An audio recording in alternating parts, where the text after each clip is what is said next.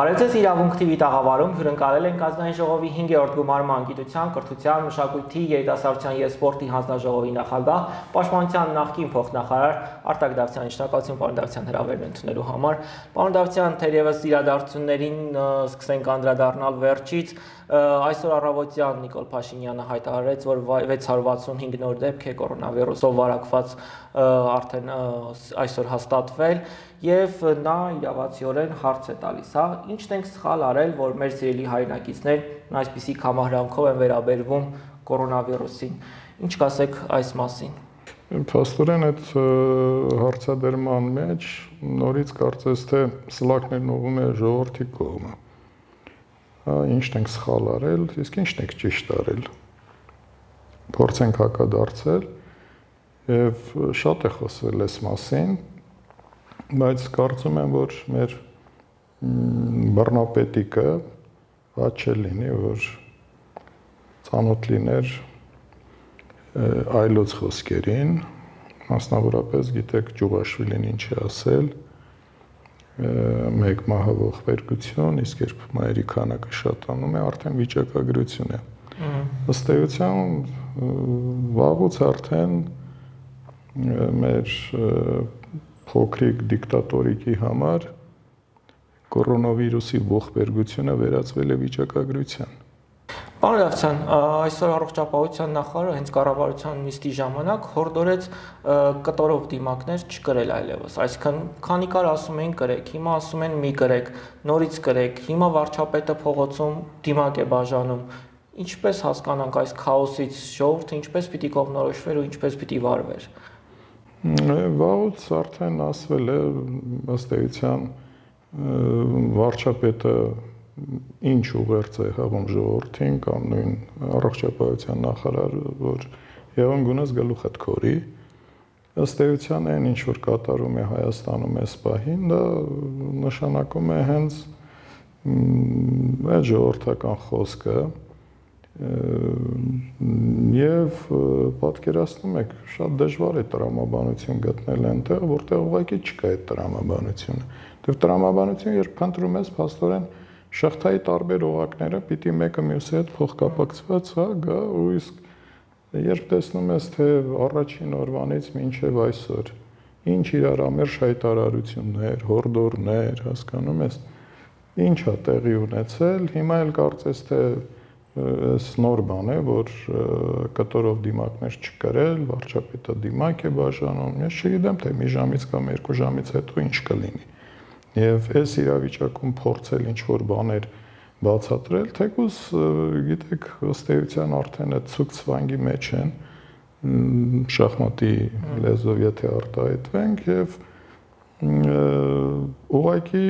որոշակի շարժումներ անեն, անկապ շարժումներ անեն կամ անկապ ինչ որ բարերի կույտ իրար հետևից շարեն, փորձեն այդ իմիտացիան ստեղծել, որ ինչ որ գործ անում են, հասկանում եք այ անընդհատ իրադրությունը համեմատում են պատերազմական իրավիճակի հետ եւ ըստ էության միակ պայքարի միջոցը դիմակ կրելն է։ Սա չի նշանակում, որ եթե Աստված մի արասի, հա, պատերազմ սկսե, սկսի ժողովրդին պաշտպանելու փոխարեն ասել են պարզապես կաս կահակեք, պարոն Դավթյան։ Ճիշտ ասած, գիտեք, մեր իրավիճակը այնպեսին է Հայաստանի Հանրապետության, որ միշտ էլ պիտի պատրաստ լինես որ ցանկացած պահի մանավանդ երբ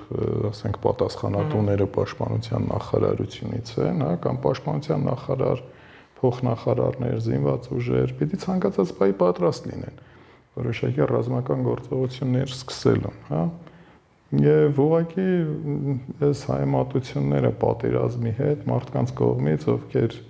նույնիսկ բանակում չեն ծառայել, ես կարծում եմ, որ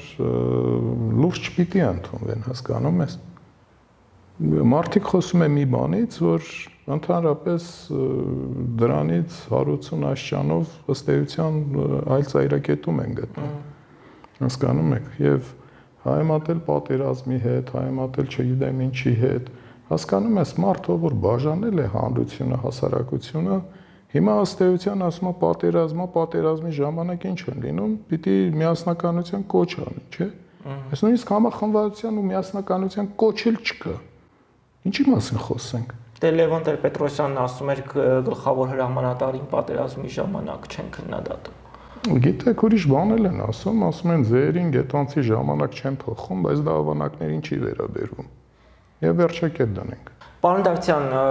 նկատի ունենալով սահմանային հա իրավիճակին եւ Ադրբեջանի հռետորաբանությանը, երեք հարց ուղվեց Նիկոլ Փաշինյանին ազգային ժողովում եւ նա կոչ արեց Ալիևին ընդունել այն բանաձևը, որը ինքն է առաջարկում Հայաստանի, Արցախի եւ Ադրբեջանի ժողովուրդների համար ընդունելի տարբերակը։ Եթե ոչ, ապա նա չբացառեց նաեւ Ադրբեջանի ժողովրդի հետ սկսել երկխոսություն։ Ինչպես սա հասկանալ, դուք պաշտպանության փոխնախարար եք եղել եւ գուցե դուք կարողանաք սրա փակագծերը բացել։ Լավ, ես իհարկե չեմ կարող ուրեմն Հիսուսի ասածները մեկնաբանել, մեկնել։ Ես ով եմ, որ Հիսուսի հետ հայմատվող անձի ուրեմն իմաստությունները փորձեմ հասկանալ կամ մեկնաբանել, բայց ես նաև ձեր միջոցով կցանկանայի որ թող ինքը շարադրի ինչ ասել է այդ երեք ժողովուրդներին ուրեմն ձերտվող բանաձև, հա? Մի հատ երբ որ ինքը կձևակերպի, թե այդ ինչ լուծում պիտի գտնի, որ եւ ձեռնատու լինի Հայաստանում ապրող ժողովրդին եւ Արցախի ժողովրդին, ինչպես ինքն է ասում, հասկանում ես, բայց Հայաստանն ու Արցախի ստեղծեն դա մի ժողովուրդ է իր այդ տավտալոգիան, որ Արցախը Հայաստան է եւ վերջ այդ այդ արտահայտության փոխարեն բոլորն էլ հասկանում են, չէ՞ որ այստեղ հայ ժողովուրդ է։ Ու թող մի հատ բացատրի, թե ոնց է անելու, որ հայ ժողովուրդ եւ Ադրբեջանի ժողովուրդը այնպեսի լուծում առաջարկում, որ ձեռնատու լինի։ Մի հատ երբ որ ինքը կշարադրի, թե ոնց է ինքը պատկերացնում այդ լուծումը։ Այդ դեպքում կոչով ուզում է Ալիևին դիմի, ուզում է Մեհրիբանին դիմի, Էրդողանին դիմի։ Ես ասում եմ մարդիկ ում հետ կարծես թե ինքը այդքան էլ ված չի։ Դե ամեն դեպքում ասում էր որ կեղտ անձնավորություն է։ Դե ոչ միայն ասում է, այլ ամեն դեպքում այդ մարդիկ են ում հասցեին գոնե որևէ մի թթու խոսք վարչապետի շուրթերից, մանավանդ գիտենք թե ինչ արտահայտություններ է օգտագործում, այ իր ընդդիմախոսների հասցեին, որը մի թթու բան մենք չենք լսել։ Պարոն Դավթյան, ամեն դեպքում Ադրբեջանի ժողովրդի հետ երկխոսելու տարբերակ բանաձև կա որևէ կերպ, որ Հայաստանի ղեկավարը կարող է, այսպես ասած, շրջանցելով ադրբեջանական իշխանություններին միանգամից երկխոսության մեջ մտնել Ադրբեջանի ժողովրդի հետ։ Դե նորից պիտի ասեմ, եթե մարդը իրեն հայմատում է Հիսուսի հետ, միգուցե կդիմի արդեն իրեն հայմատելով Մուհամեդի հետ եւ Ադրբեջանի հավատացյալ ժողովուրդը, ասենք, ոնց կարող է Մարկարիի խոսքերին ականջալուր չլինել։ Ես չգիտեմ թե կոնկրետ Նիկոլի ուղեղում ինչ նոր հասկացություն է հասունացել, որ միայն իրեն է հասու հասկանալու, ամբռնելու, ասելու եւ միգուցե իրեն եւ Ադրբեջանի ժողովրդին չգիտեմ։ Ապրենք կտեսնենք։ Պարոն Դավթյան, ազգային ժողովում քննիչ հանձնաժողով ստեղծվեց քննելու ապրիլյան պատերազմում տեղի ունեցածը, հա, ինչն էր պակաս, ինչն էր սխալ եւ այլն եւ այլն։ Եվ Անդրանիկ Քոչարյանը բավական ուշագրավ հայտարարություններ արդեն իսկ արել է, հա, որ սպառազինության, վառելիքի եւ սննդի խնդիր չի եղել, եւ առհասարակ հա այն մարդիկ ովքեր եկան այդ քննիչ հանձնաժողով Բարսաշճան Պաշտոնյաները նկատի ունեմ հարցը պատասխանից կարծես գոհ էին այս դեպքում ինչու էր ստեղծվել այս հանձնաժողովը եւ ինչ տվեց Ինձ մոտ տպավորությունն այնպեսին է նորից պիտի գնանք Եոսիֆ Ջուղաշվիլիին, հա դիմենք, հա կամ հիշենք հանձնաժողովը ստեղծել որ հարցը թաղի։ Որ հարցը, այն հարցը, ինչ որ Փաստորեն Նիկոլ Փաշինյանը ընդդիմադիր падգամավոր եղած տարիներին բարձրաձայնում էր, որ Ռուսաստանի հրահրումով է եղել, հա? Եվ ըստ էության այս հանձնաժողովը ստեղծվեց, լերը երկեց, մուկ ծնեց, հասկանում եք։ Ոչինչ չի եղել, այդ թվում նաև ջերումա Նիկոլ Փաշինյանի ասասները։ Որտեւ ըստ էության, եթե հանձնաժողովը ստեղծվել է, ապա հանձնաժողովի առանցքային առանցքային փաստորեն պերսոնան, որ պիտի լիներ ու պիտի պատասխաներ հարցերին, դա հենց Նիկոլ Փաշինյանը պիտի լիներ։ Եվ հետո եւ նաեւ Վլադիմիր Պուտինը, չէ՞ որ ասում է Ռուսաստանն գիտեք, եկեք Վլադիմիր Պուտինին հանգիստ թողենք, որովհետեւ առնազն ծիծաղելի է թե հանձնաժողովը այդ իր կազմով ինչպես էր այդ հրավերքը ուղարկում եւ տեսակ թե կոնկրետ մեր ռազմական փայլուն գործիչ Խաչատուրովը ինչպես պատասխան է։ Շատ ճիշտ պատասխան էր։ Իսկական զինվորականի պատասխան։ Քաղաքականությամբ չի զբաղվել, ցանկություն չունի զբաղվելու, բոլոր հարցերի պատասխանները տրված են։ Զինվորականը միայն այդպես էլ պիտի լինի, հասկանում եք։ Իսկ այն որ Նիկոլ Փաշինյանին պիտի հրավիրեին եւ Նիկոլ Փաշինյանից պիտի լսեին այդ հարցի պատասխանը, թե ինչ հանգամանքներում է ասել կամ իրեն ինչ է հայտնի, որի պատասխանը մենք չունենք։ Բայց հա՞։ ինչ կարող էր հայտնի լինել ընդդիմադիր падգամավոր Նիկոլ Փաշինյանին ըստ էության ապրիլյան պատերազմի դեպքերի հետ կապված։ Չեմ կարող ասել, բայց չէ որ անդիմադիր падգամավորներ այդ ամեն ինչի մասին խոսում։ Ամենասուր աստորեն արտահայտությունները ապրիլյան պատերազմի մասին արել է հենց անդիմադիր Նիկոլ Փաշինյանը։ Պարոն Դավթյան, անդրադառնանք նաև Միքայել Մինասյանի բացահայտումներին, հա, կապված զենքի հետ նա ուղղակիորեն նշեց, որ Հայաստանը ինչ որ երրորդ պետության զենքի վաճառք կա։ Դուք լինելով պաշտպանության նախարարություն փոխնախարար, հա, հնարավոր համարում եք նման սխեմա այսօր գործի։ Գիտեք, այսպես ասեմ, ամենևին կապ չունի ես պաշտպանության փոխնախարար եմ եղել թե ոչ, կոնկրետ այդ հարցը երբ ուրեմն հնչեցվում է կամ պատասխանը որ պիտի տամ, ինչի համար եմ ասում, նախ իմ գործառույթներից դուրս էր։ Այո։ Մատակարարումների հետ կապված այդ ամբողջ գործառույթը եւ երկրորդ կոնկրետ փաստորեն մեղադրանք է հնչեցվել Հայաստանի Հանրապետության թիվ 1 պաշտոնյայի հասցեին հա եւ կոնկրետ այդ թիվ 1 պաշտոնյան պիտի հերքի Սա գիտեք պարլամենտ չի, որ պարլամենտում հա ազատ ամբիոնա խոսքի եւ քաղաքական բանավեճի եւ ազատ արտահայտվելու իրավունք յուրաքանչյուրը ունի։ Բայց ճիշտ է, այդպես էլ պիտի լինի։ Սա կոնկրետ հնչեցված մեղադրանք կոնկրետ փաստաթղթերով որի պատասխանը կարծես թե չունեք։ Որի պատասխանը ոչ թե ես չունեմ, որի պատասխանը ըստ էության վարչապետը չի տալիս, պատասխանը եղել է այն, որ ինքը ուղ չի։ Պարոն Դավթյան, անդրադառնանք նաև Գագիկ Ծառուկյանի հա շուրջ ստեղծված իրավիճակին, արդեն մի քանի օր է, հա, այս ամբողջ աղմուկը ստեղծվել է։ Ի վերջո սա քաղաքական թե իրավական գործընթաց է ձեր գնահատմամբ։ Հանրապետական կուսակցության հայտարարության մեջ Գագիկ Ծառուկյանի անունը նշված չէր, ինչը նաև, այսպես ասած, տարբեր կերպ վերլուծվեց։ Չէ, իմ գնահատմամբ դա միանշանակ քաղաքական է, ամբողջովին քաղաքական Ինչու համար է ամբողջովին քաղաքական, որովհետև Հասկանում եք, մի բան է, երբ Գագիկ Ծառուկյանի, ասենք, ինչ հայտարարությունն է, դա ամբողջ process-ը գնում, հա, այն ինչ որ օթում կախված էր այդ լուրերի համաձայն, հա, եւ մի այլ բան, երբ Գագիկ Ծառուկյանը անում է իր հայտնի հայտարարությունը եւ ըստ էության այդ հայտարարությամբ ինչ չէ նաեւ պահանջ է դնում որպեսի հեռանա այսօրվա կառավարությունը, հա, ու դրանից հետո սկսում է ամբողջ գործընթաց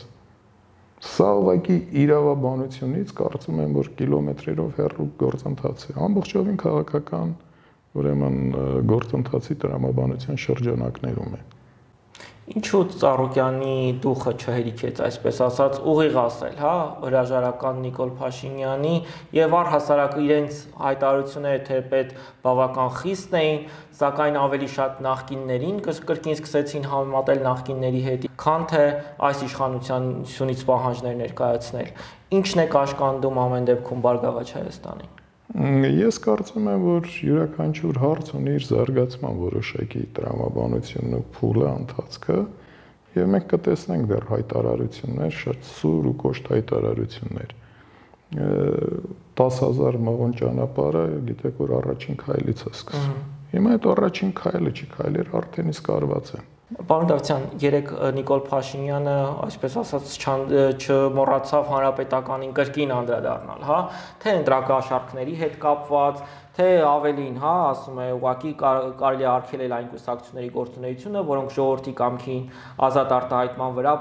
բռնացել են ընտրությունների ժամանակ, հա, կրկին սլակներ ուղղելով հանրապետականին։ Սա ձեզ չի հիշեցնում Լևոն Տեր-Պետրոսյանի ժամանակաշրջանը, երբ կուսակցություններ, որի արգելափակման մասին ոչ միայն ակնարկում էին, այլև կոնկրետ փակում։ Պետք է ընդհանրապես վերջակետ դնել, հա, այս անցյալում էս են արել են, են արել Հասկանում եք, ամեն ինչ ձեռքդ է։ Ով արելա, ես էլ պահանջում եմ, որ այդ անողներին պատժիր։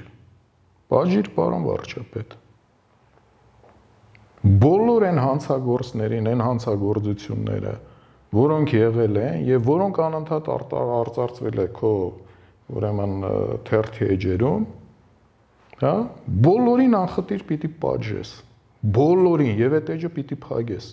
միայն այն ժամանակ, երբ որ քաղաքական նպատակահարմարություն կա։ Գագիկ Ծառուկյանը մինչև վերջերս Չէ, գիտեք, գործընկեր էր, հուշագիր ունեին միասին ստորագրած բանը։ Դե հասկանում եք, դրա համար կարծես թե հարցին պատասխանեցինք, չէ, իրավական է թե քաղաքական։ Միանշանակ քաղաքական է։ Mēs չպիտի մտածենք նաև ուրեմն մեր սահմանադրության ամփոփուխելի հոդվածի մասին, չէ՞։ Հայաստանի Հանրապետությունը նաև իրավական պետություն է։ Իրավական Դե դրա համար էլ Նիկոլ Փաշինյանն ասում է, որ սահմանադրությունը պետք է փոխել, կարծես թե նոր սահմանադրություն է պետք։ Դե հասկանում եք, Նիկոլ Փաշինյանը չի այդ ասում, օրինակի համար ես էլ եմ ասում։ Իհարկե սահմանադրությունը պիտի փոխվի։ Ինչու։ Այսօրվա վիճակի համար։ Այսինքն կրկին վերադառնանք նախագահական համակարգի թե ինչ նկատի ունեք բանը։ Ես ի նկատի ունեմ այն, որ իրականում սահմանադրությամբ պիտի երաշխավորի դատական օրենսդիր եւ գործադիր իշխանությունների տարանջատումը եւ հավասարակշռումը միմյանց զսպելը, հասկանում եք։ Այն ինչ որ չի երաշխավորում է սահմանադրությունը։ Իդեպ դատական համակարգի մասին ժամանակին հասկանում եք, ժամանակին ես եղել եմ մարդկանցից մեկով, հասկանում ես հանդես է եկել այս սահմանադրության օկտին, որ այո, պետք է ընդունել է սա, հիմա ես իմ սխալն ընդունում եմ Չէր կարելի նման սահմանադրություն ընդունել։ Պարոն Դավթյան, դուք ձեր սխալն ընդունում եք։ Ինչու այսօրվա այն ընդդիմությունը, հա, թեկուս խորհրդարանական չի ընդունում իր սխալը, որ 2 տարի առաջ այս իշխանության հետ միասին քայլում էր, իշխանապողություններ անում եւ հիմա հանկարծ ասում է սխալվել ենք, հիասթափվել ենք, ինչու ներողություն իրենք չեն խնդրում սրա այս ամենի համար։ Դա չգիտեմ, գիտեք, ըստ էության կոնկրետ այդ մարդիկ պիտի պատասխանեն ձեր հարցին։ Հա, բայց մարդը ինքը ու մնաց քաղաքական ուժի հերատեսություն այսպես ասած։ Մարդը ինքն ըստ էության ինքը սխալական է ու այնպես չի որ մարդը իմաստու մարգարե է ծնվում, հասկանում ես, առանց սխալների կամ ենթադրյալ սխալներ անելու, հասկանում ես ու Ինչ էլ որ ասելու լինենք, միևնույն է կյանքը ըստ էության դասեր մարդ առնում է ինձ իր սխալները վերլուծելու եւ այդ սխալները ընդունելու արդյունք եւ այդ ընթացքում չեն մոռանում նշել, որ նախկինների հետ չեն համագործակցելու որևէ կերպ։ Պարոն Դավթյան, ովքեր են նախկինները ձեր գնահատմամբ Այսօր Բարգավաճ Հայաստանն ասում է կա համագործակցենք այլ քաղաքական ուժերի հետ, բայց ոչ նախկինների։ Եթե հանրապետականին նկատի ունեն, դուք հետարքե որպես հանրապետական կուսակցության անդամ կցանկանայիք համագործակցել այսօրվա Բարգավաճ Հայաստանի կամ մեկ այլ կուսակցության հետ, որոնք երկու տարի առաջ իշխանապողություն էին անում։ Հրան ձեր հարցին պատասխանեմ Էզևով։ Ես ընդհանրապես կարծում եմ, որ պիտի ընդունելի լինի գաղափարը Այսինքն եթե այսօր ընդունենք Բարգավաճ Հայաստանը դուրս է եկել իշխանությունների դեմ ու ասում որ առաջ այս իշխանությունը պիտի գնա։ Չէ գտնում որ երկու տարի առաջվա ձեռագիրն է։ Մերժեցիր։ Տեղը ինչ ես դնում։ Հա? Եվ որտեղ է երաշխիքը, որ այս իշխանությունը գա, իսկապես մի ուրիշ, ասենք, բռնապետի կամ դիկտատորական ինչ որ հատկանիշներով մեկը չի գա, որ հիմա էլ փաստորեն այս իշխանություններին երանի տանք։ Դրա համար եթե չկա այդ գաղափարական առանցքը, օրակարգը, հասկանում ես,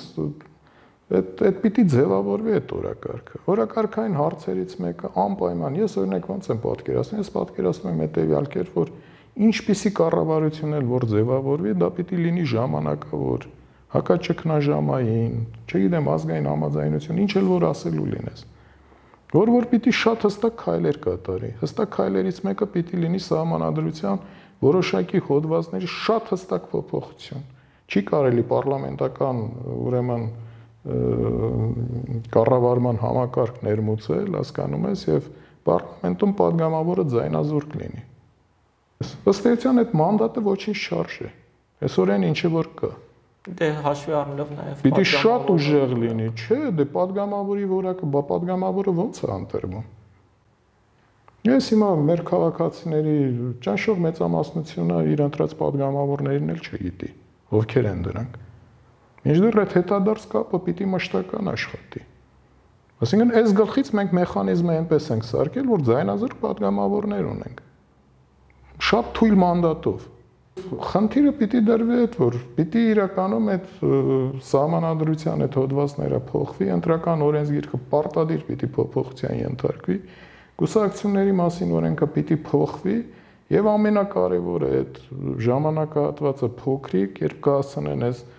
աշխատանքները անել, ամենակարևորը ուրեմն այդ ազգային համիրաշխության մտնոլորտի ուրեմն ձևավորումն է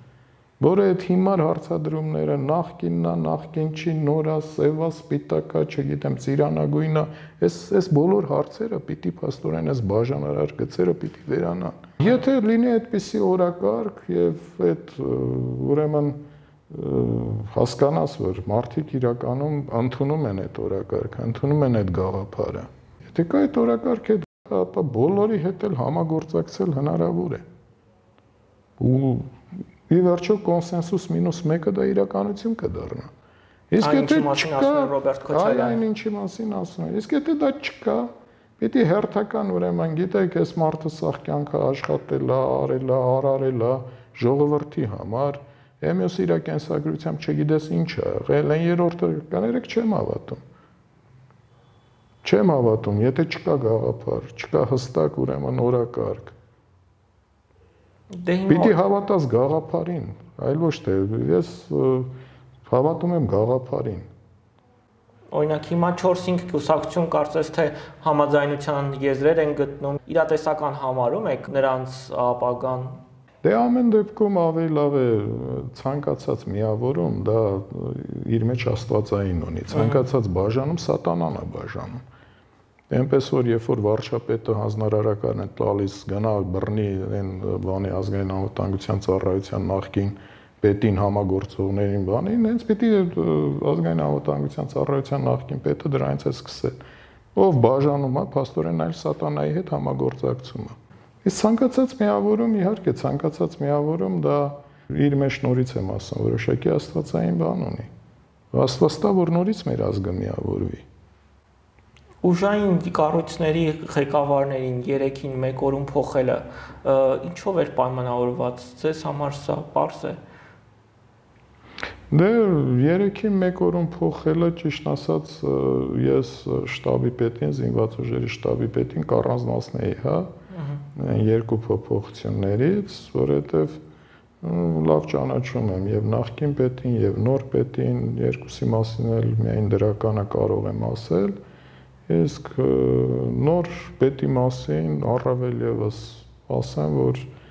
մեր ամենապատրաստված եւ մարդկային եւ մասնագիտական առումով ամենաբարձր հատկանիշին ունեցող ուրեմն գեներալներից մեկն է։ Իսկ դարժանի մարդ է զբաղեցրել աստորեն այդ պաշտոնը։ Իսկ տնորենի եւ ոստիկանապետի մասին ինչ կասեք։ Ոստիկանապետը կարծես թե նույն վարչապետն էլ ցանցված չէր իրանց այդ ժամանակավոր պաշտոնակատար եղած այդ 6 ամսյա ժամանակահատված անցնելուց հետո նշանակման եւ ինձ թվում էր ուղղակի հարմար պահ էր փնտրում որպիսի համապատասխան այդ փոփոխությունները կատարեր։ Այն ինչ որ արեց Ինչ է դա պայմանավորված։ Պայմանավորված է հետեւյալ բանի հետ, որ ինքը ուզում է առավելագույնս իրեն վստահելի փաստորեն մարդիկ ունենալ ուժային այդ երկու կառույցների ղեկավարներ։ Պարոն Դավթյան, հանրապետական կուսակցության հայտարարությունը կարծես ճանապարհային քարտեզ էր, հա, կառավարության ճգնա հակաճգնաժամային կառավարության ժամանակավոր ձևավորում, ապա արտահերտ ընտրություններ։ Արդյոք գտնում եք, որ հենց այդպես էլ կարող է այս իրավիճակում լինել եւ ինչ ժամկետներում։ Ինչու ոչ։ Ինչու ոչ։ Գիտեք, ես ոչինչ չեմ բացառում զարգացումների առումով կարծեմ 2 տարի առաջ է, երբ պոզները մեր ուրեմն ամերիկյան հայկական լրատվամիջոցի էր հարցազրույց տալիս եւ այնտեղ էսպիսի հարց տվեցին ոնց պատահեց որ այս հեղափոխությունը հեղափոխությունը ես ուրեմն լրագրողի խոսքերն եմ մեջ բերում որ տեղի ունեցավ պոզներն ասեց տեղի ունեցավ հետեւյալը որ շատ չափից դուրս շատ մարդիկ դուրս եկան փողոց։ Հիմա իրավիճակը այնպես է զարգանում, որ բոլորն էլ հասկանում են, որ այս իրավիճակը ըստ էության հազարավոր, տասնյակ, հարյուր հազարավոր մարդկանց ուղղակի դրթելու է փողոց դուրս գալ։ Պարոն Դավթյան, դուք էլ գիտեք, որ երկու տարի առաջ կար ջուրբերողներ, կային սորոսականներ, այնպես չէ, որ ժողովուրդը ինքնաբուխ բոլորը դուրս եկան։ Գիտեք, հիմա ով պետք է դուրս հանի այդ ժողովրդին։ Ուրեմն ես կարծում եմ հետեւյալը, որ այն ժամանակ իրականում կար դժգոհություն եւ այդ դժգոհությունը երրում էր։ Անկախ ամեն ինչից, այդ օբյեկտիվ, սուբյեկտիվ, հսկայական հանգամանքներ կային։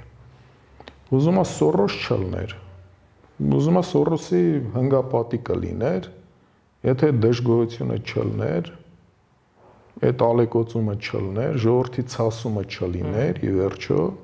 անհնար էր այն ինչ որ տեղի ունեցավ 2018 թվականին։ Հիմա այդ ցասումը նորից հասունանում է, հասկանում եք։ Եվ այդ ցասումը ամբողջովին օբյեկտիվ բնույթ ունի։ Ես ինչու համար եմ ասում 18 թվին եւ օբյեկտիվ եւ սուբյեկտիվ, որովհետեւ ինչ այժմ ինչ ասվել է, հա, այդ թալանացների, չգիտեմ, օրինազանց քայլերի ու մնացած ամեն ինչի մասին չկա մի բան, որը որ դատարանով ապացուցված լինի։ Այսինքն կար եւ օբյեկտիվը եւ սուբյեկտիվը։ Կար հսկայական մի միֆ, հա, այս փչած, ուռեցրած, անընդհատ թմկահարվող։ Լավ, էս էս էս բանն ասենք Թալանացը հետ չեք կարողացել վերել, չեք կարողացել վերել։ Ըստ ձեր ներկայացրածի նույն Նիկոլ Փաշինյանի ըստ էության Երկու տարի է թալան չկա, չէ՞։ Դա նշանակում է, որ երկու տարում մենք պիտի ծաղկեինք։ Ըստ էության այդպես։ Դե եթե չենք ծաղկում, ուրեմն ինչ, ուրեմն նշանակում է այդ թալանը էլի շարունակվում։ Պարոն Դավթյան, բայց դուք էլ հիշում եք, որ այս իշխանությունն ասում էր, որ Հրայր Թովմասյանն է մեղավոր, որ հեղափոխությունը չի լինում։ Հիմա դե པարզ է կորոնավիրուսն է մեղավոր, Գագիկ Ծառուկյանն է մեղավոր։ Միշտ այդ մեղավորը ճարվելու է, որ իրենք կարողանան ասեն, թե ինչու չիրականացավ։ Չէ, ամբողջ հարցը կայանում է նրանում, որ Իհարկե, եթե դու գործ չես անում, եթե արդյունք չկա, միշտ էլ պիտի պատճառներ մանգաս, փնտրես։ Այն ինչ որ անելու են։ Բայց ըստ էության, ասենք, եթե սկզբից մեր ժողովրդի մի հսկա զանգված 95%-ը, ասենք, հավատում էր Նիկոլ Փաշինյանին, գնալով մաշվում է, չէ՞ դա ամեն ինչը։ Դե անկախ ամեն ինչից ես ինչ կասեմ, վարչապետը ինչ կասի, դուք ինչ կասեք, յուրաքանչյուր մարդ իր պրիզմայով տեսնում է այդ ամեն ինչը այն մարդիկ, ովքեր 10 տարի եւ ավել եղել են հանրապետական կուսակցության ընդդիմություն, այսօր ակտիվորեն պաշտպանում են հենց հանրապետականին, ասելով թե ավելի լավ էին իրենք, թեկուս համեմատության մեջ, հա, քան այս իշխանությունը։ Ինչպես եք դուք տեսնում հանրապետական կուսակցության քաղաքական ապագան եւ չգիտեմ, եթե արտահերտ ընտրություններ լինեն, հանրապետականի մասնակցությունը ուղղակիորեն հենց կուսակցության անունով արդյոք անկալելի եւ ընդունելի կլինի։ Չէ, գիտեք, անկախ ամեն ինչից հիմա հանրապետականն էլ այսպես ասեմ, իր այն ամենադառը օրերը ապրել է, հիմա էլ այն լավ օրեր չի ապրում բնականաբար, որովհետեւ ըստ էության այս տարիների ընթացքում եւ նաեւ այսօր այն բացասականը ինչ որ կա, հա, մեր պետությունում, մեր հանրությունում, այսօր էլ մեծամասամբ կապում են հանրապետականի անվան հետ, հա Եվ այսօր ուղղակի ձեր ասած մարդիկ այդ բացասականի հետ միասին նաև դրականն են մատնանշում։ Եվ այդ դրականի մեջ առանձնահատուկ դեր ունի հենց թեկուզ արտաքին քաղաքականությունը, որը տարվել է հանրապետականի կողմից։ Այսինքն իրականում մենք ունեինք բարեկամ երկրներ, բարեկամ կառույցներ,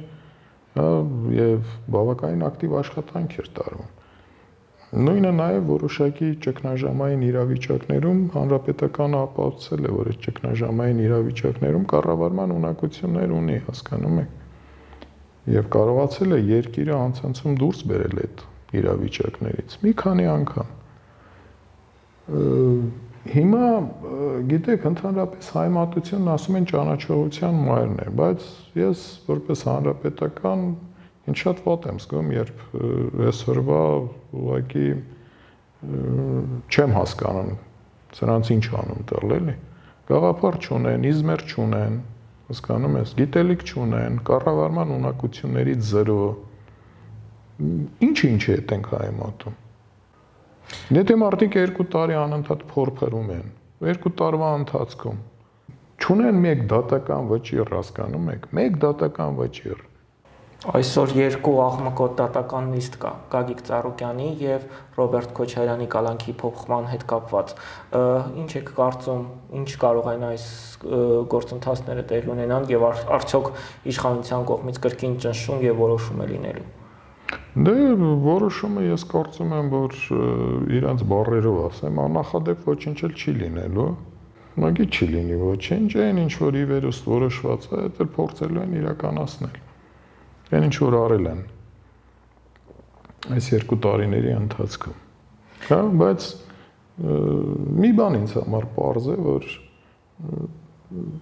շատ բավականին շատ կարճ ուրեմն կյանք ունի այսօրվա իշխանությունն է եւ պետք չէ ընդհանրապես խանգարել իրանք ընկել են իրանց հետևից թող այդպես է շարունակեն այսինքն իրենք իրենց են մերժելու թե իրենք իրենց են ոչնչացնելու մոտորապես այնպես ինչպես ասենց ասեմ կարիճն է ինքը իր թույնից վերջ առաջ ինքը իրան կխայթի որովհետև այլևս այդ թույնը հասկանում ես, այլ շրջապատի վրա չի գործում Ի վերջո հակաթույնը ձևավորվելու է մարդկանց մեջ։ Ուզում եք ասեք, որ երկու տարվա ընթացքում իմունիտետը վարձացել է ավելի ժողովրդի այդ թույնին հակազդելու։ Իհարկե, ես նաև ուրիշ բան էլ ասեմ, որ այս ամեն ինչը հաղթահարելուց հետո ես կարծում եմ, որ մեր երկրին բավականին լավ ապագա է սպասում։ Ապագա է սպասում, որովհետև կմերժվի ընդհանրապես փողոցից իշխանության եկողներին, անկենսագրություն, անձեռագիր, առանց իզմերի մարդկանց, պոպուլիստներին եւ շատ դժվարությամբ կհավատային խոստումներին, որոնք ուղղակի երկնային մանանային խոստան Պարոն Դավթյան, ազգային ժողովում դուք ղեկավարել եք ամենաերկար անունը ունեցող հանձնաժողովը եւ պիտի անդրադառնանք նաեւ կրթության ոլորտին, հա։ Երկար ժամանակ քննարկվում էր, որ պետք է եկեղեցու պատմություն առարկան հանվի ռազմակրթական դաստիարակության այդ նախագիծը, որը կար, առհասարակ հանվեց եւ չվերադարձվեց։ Բուհերում հայոց պատմություն, հայ գրականություն, հայոց լեզու առարկան այսպես ասած դրվեց կասկածի տակ ու այդ նախագիծն էլ ըստ էության ոչ հաստատվեց, ոչ չընդունվեց, դաշնակցության երիտասարդները երկարատև ակցիաներ էին անում։ Ինչ կասեք այս մասին եւ արդյոք տեսնում եք կոնկրետ միտում ազգայինի դեմ ուղված։ Կոնկրետ միտում իհարկե տեսնում եմ ազգայինի եւ ընդհանրապես ինքնության դեմ ուղված, այս ամբողջ իշխանությունն է ապազգային իր էությամբ իրեյությամբ, որովհետև իրանք չեն հասկանում ինչ ասել է ազգային պետություն։ Երբ սրանց ասում ես ազգային պետություն, սրանք ինչ են ասում, բերում են ասենք, այն ադատներ, ես չգիտեմ, ասենք, հեգնում են հեգնում են հեգնում են բայց հեգնելով ասենք Թումանյան, Նարդոս հասկանում ես չեն տարբերում նույնիսկ այս մակարդակով են հեգնում կամ այսօրվա այդ ոլորտի պատասխանատու նախարարը Թումանյանից մի քառյակ անգամ չի արտասանում։ Այս պարագայում խոսալ ազգայինի կամ ինքնությունից, այս մարդկանց հետ, սա абսուրդ է։ Մինչդեռ ազգայինն ու ինքնությունը դա արած այնց մարդու համար։ Հրանտ ինչու հենց ազգային պետություն։ Ազգային պետություն, որովհետև միջավայրը պիտի լինի այնպեսին, որ տվյալ ազգի ներկայացուցիչը, ներկայացուցիչը հայը, հա, պիտի իր բոլոր հնարավորությունները կարողանա բացահայտել այդ միջավայրում։ Իսկ այդ միջավայրը քո լեզուն է, քո մշակույթն է, քո ավանդույթներն է, հազարամյակներով եկած են հարաբերություններն ու են դրականն է, որը որ կուտակված է քո մեջ։ Եվ սա պիտի ապահովի ըստ էության քո ինքնաբացահայտումը։ Դե չէ, եթե այս ամեն ինչը չկա, եթե քո ազգային պետությունը չպիտի լինի, հա, այդ դեպքում այդ 193 պետություններ, որոնց ճնշող մեծամասնությունը հենց ազգային պետություններ են Ինչու է ստեղծվել։ Այդ դեպքում արդեն абսուրդ է, հասկանում ես, երբ որ ընդհանրապես խոսած, չգիտեմ, պետություն, պետականություն ու մնացած ամեն ինչերի։ Պարոն Դավթյան, կարծում եք այս երկու տարվա ընթացքում այդ ապազգային մարտիկ իրար գտան, հավաքվեցին, համախմբեցին։ Չէ, չեմ կարծում։ Ով էր սնում, իրենց պահում այդքան ժամանակ։ Դե գիտենք ով էր սնում, ով էր պահում, հա, եւ գիտենք որ տարբեր կառույցներից կամ մարդիկ, ովքեր որ մոլորիալներ են, էս էլ ասենք, էլի, այդպես չի որ ասենք 100%-ով այդ մարդիկ միանգամից սանվեցին ու ստեզերքի քաղաքացի կամ ասենք այդ ապազգային դառնալ բերել ինչ որ գաղափարներ, ասել համամարտկային ու այս համամարտկայինը հակադրել ազգայինին։ Մինչդեռ ազգայինը ինքն է հենց համամարտկային։ Կանում ես ազգային ինքը այդ բազմազանությունն է ապահովում։ Այ մենք խոսում ենք ազգայինի մասին, իսկ երեք հերոստատեսության եւ ռադիոյի հանձնաժողովի նախագահ Տիգրան Հակոբյանը ազգային ժողովի ամբիոնից հայտարարեց, որ կեսգիշերին հիմնի պարտադիր հնչեցումը օրենքից պետք է հանել։ Հիմնը ում է խանգարում, պարոն Դավթյան։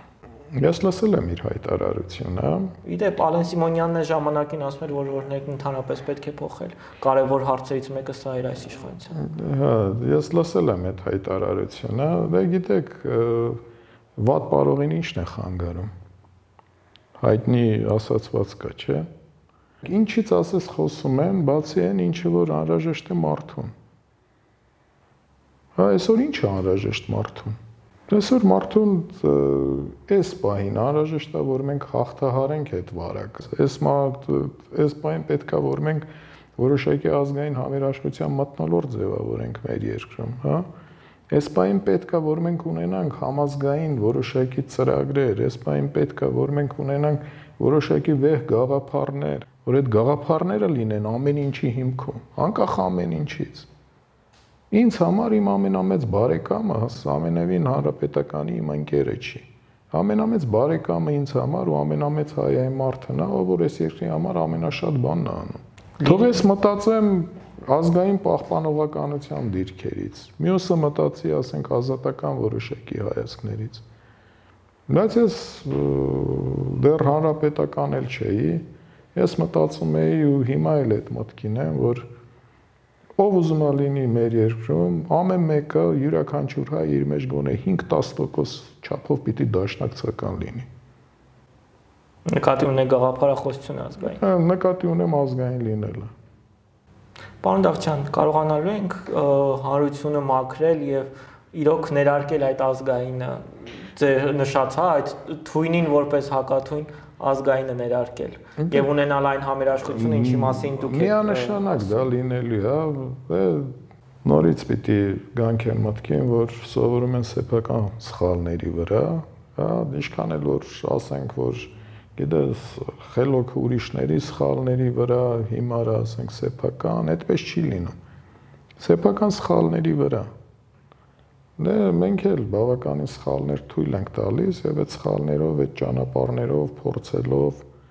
սայթակելով, բարձրանալով, այս ճանապարհը ամենևին դյուրին ճանապարհ չէ, ճանապարհը մենք պիտի անցնենք։ Եվ մենք այդ ճանապարհի վրա ենք կանցնենք թե ոչ, ցույց կտա ժամանակը, թե ամեն դեպքում ունենք այդ լավատեսությունը։ Չէ, մենք անպայման անցնելու ենք, դա լավատես լավատեսություն չի, դա իրատեսություն է։ Երբ որ ասենք դեգերենք այս օտար ափերում սեփական երջանկությունը փնտրելուց, հա, դեգերենք, հոգնենք ու հասկանանք, որ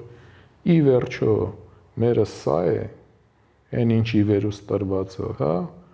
եւ այն ինչ որ ազատագրվել է 90-ականներին Արցախյան ուրեմն պատերազմի արդյունքում դա է մերը, հասկանում ես, եւ մենք պիտի պահպանենք ու պիտի զարգացնենք ու պիտի զարգանանք։ Մեզ գաղափարը կախտի անպայման։ Շնորհակալ եմ հետաքրքրության համար։ Ես եմ շնորհակալ։